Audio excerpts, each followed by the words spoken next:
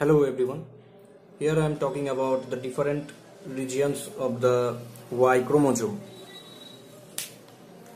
Let's see. This is the pseudo autosomal region. This is also pseudo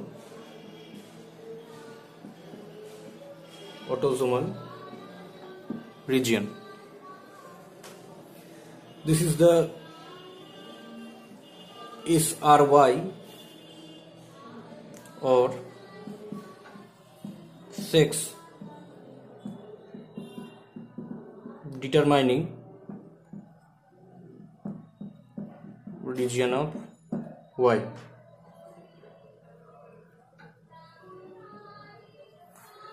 This is centromere.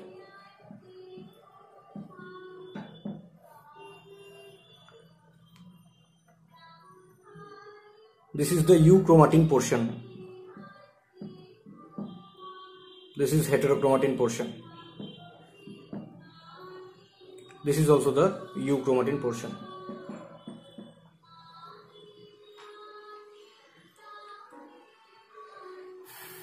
Now, what is this region and what is the importance of these regions? This is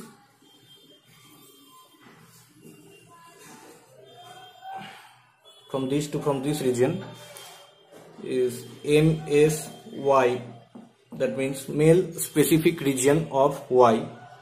Or this is also called non-recombining region of Y okay MSY male specific region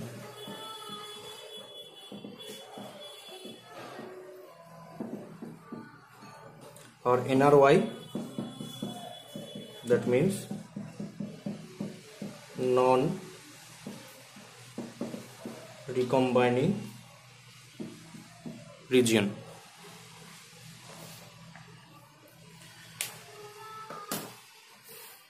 This is the total structure of the Y chromosome. There are two arms. This is short arm and long arm. And the ends of these both arms, this is the pseudo-autosomal region. What is the importance of the pseudo-autosomal region? This can share the, the regions of the Y chromosome share the homologous structure or homology with the X chromosome and these regions only can combine or synapse with the X chromosome during meiosis. Rest of the part which is also called the male specific region of Y chromosome or non-recombining region of the Y chromosome this cannot combine or this cannot recombine or synapse uh, with X chromosome during meiosis. But these regions can recombine with the X chromosome. So this is the structure male specific region that means this is the structure unique structure of the Y chromosome. Now this is the gene of this chromosome. This is the main gene also called SRY sex determining region of y. sex determining region of y. The product of SRY is TDF testis determining factor. So if the SRY region is present the product is testis determining fa factor. And this will produce in the embryonic condition the gonadal tissues to form the testes. If this region is not present, this will automatically develop the ovaries from the gonadal tissue. This is the overall structure of the Y chromosome. I'll repeat again. In the Y chromosome, this is the short arm, this is the long arm.